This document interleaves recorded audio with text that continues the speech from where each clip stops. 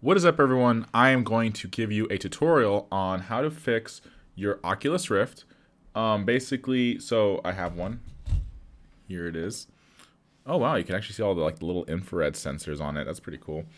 Even when even when it's off, I guess. Uh, so basically, uh, I had an issue a couple days ago where my Oculus Rift turned black. So I was able to hear. It didn't even turn black. It just didn't even turn on. So I was able to hear the audio of like the main um, hub of of your Oculus client with your headphones on or your headgear on, but no visual. It's all black, right? So basically, I want to give you a tutorial. Uh, um, and this this fixed the issue for me. And a lot of people are trying to search this up and can't find the correct issue because everyone's giving these complicated issues. It's actually a really easy fix, at least for me.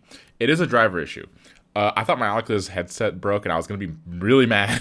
you know, I've only had the damn thing for like one year. I actually bought it like a year ago this past December. So basically, what you're gonna do is go to my PC, right?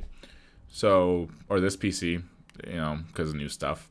And what you're gonna do is you're gonna go to local disk C. You're gonna go to program files. You're gonna go to Oculus, and then you're gonna go to support. Now you're gonna see Oculus drivers, and then you're going to see this uh, application to run your Oculus driver setup, which basically will reinstall and replace your current drivers and fix any issues that it had. Um, and it'll basically update to the latest version of, of Oculus Rift drivers. So um, now when you double click it, I'm not going to double click it because I already fixed the issue. But basically, you're going to hear the sound if you have your audio on on your PC.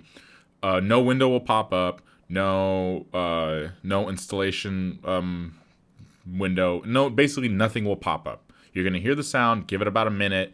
Let it load, and then uh, boot up your Oculus again, and it should be functioning, and you shouldn't get a black black screen anymore.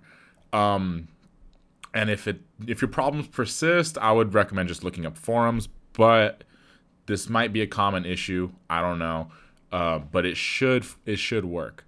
Um, I hope that helped you guys out. Uh, I, I figured I'd share this a little bit more just because I kind of had to look, dig through Reddit and a few forums just to find this information. Uh, so having a video tutorial is always nice. Um, if you guys liked the video, please like and subscribe. If you didn't, well, I, I keep saying that every time I do that. Thank you for watching this video.